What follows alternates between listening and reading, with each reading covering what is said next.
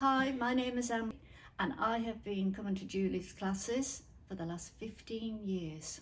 You do really feel the benefit and you notice when you get home that you feel more energised and you feel like doing things whereas if you sat at home you just vegetate.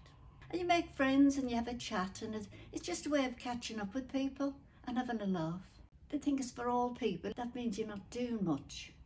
And I said, no, it's totally different to what you think about, what you think it might be. I said, you need to come, see what happens. I said, you will feel totally different afterwards.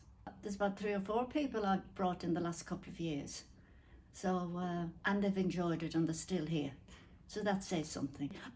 I, I have seen me standing at the bus stop on one leg and thinking, if anybody sees me, they think I'm mad. Our classes are all over the country. And I think they're fabulous. And she does such a good job. And long may they continue.